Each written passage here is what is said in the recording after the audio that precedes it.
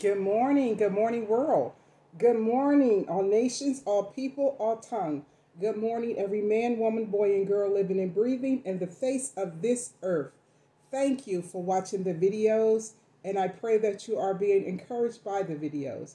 If so, please tell someone else.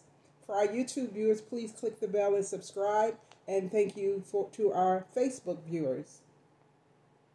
I pray that these videos will reach all across the face of this earth and all over the world, encouraging the body of Christ and winning souls to Jesus Christ.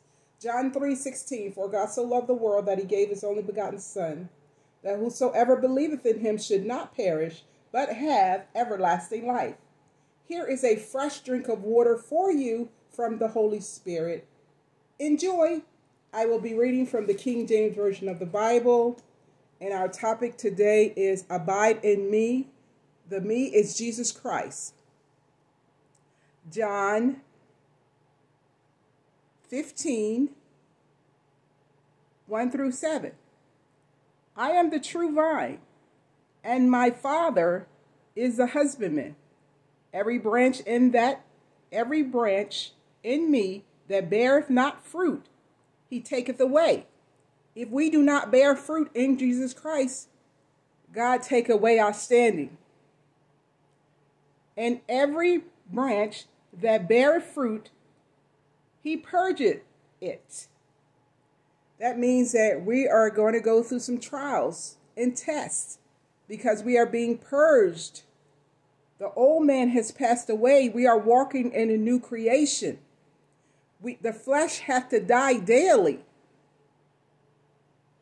We are being purged that it bring that it may bring forth more fruit. Our flesh have to die daily so that we can bring more fruit, disciples, disciple others to Jesus in Jesus Christ. Now ye are clean through the word which I have spoken unto you. The topic of this message is abide in my word. We are cleansed through the word. It's so important to read the Bible, to read the word of God every single day, even if it's just one verse. Abide in me, and I in you, as the branch cannot bear fruit of itself. We can't go around spewing out things out of our mouth that is not of Jesus Christ while we walk in Jesus Christ, except if it abide in the vine, no more can ye except ye abide in me. I am the vine, and ye are the branches. He that abide in me, and I in him, the same bringeth forth much fruit. For without me ye can do nothing.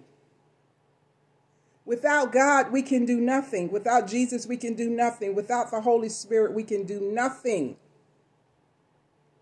We have to be discipled so that we can disciple others. Pray and ask God to lead you to the church home He would have you to go to, not the one your family members go to or your friends go to. Pray and ask God to uh, help you to know which preachers to listen to on the social medias if a man abide not in me, he is cast forth as a branch and is withered. If we have given our lives to Jesus Christ and we are not growing, that means we are withering away, going more towards Satan's way and the flesh. And men gather therein and cast them into the fire, and they are burned when we are withering away from God and looking more towards the world and lusting more after the flesh and the cares of this world, we are, are distancing ourselves from Jesus Christ. If ye abide in me, and my words abide in you, ye shall ask what ye will, and it shall be done unto you. We have to walk by faith and not by sight. We have to believe when we pray. We have to believe that it is done because he said right here, when we pray to the Father, ask in the name of Jesus. And we believe by faith, and it shall be done. If ye abide in me, and my words abide in you, if the word of God, the Bible, abides in us, we shall ask what we will, and it shall be done. So, how can the words abide in us if we are not reading the word of God? If we're not putting it on the inside, if we're not taking it and making a stand with it, how can it abide in us if we're not reading it? A lot of Christians do not read the Bible. They leave it to the preacher. And then when things go all kinds of wrong, where is your weapon? The word of God is our is our weapon. This is how the body of Christ, a new creation, this is how we live through the word of God, which protects us. Thank you for listening. God bless. Have a wonderful day.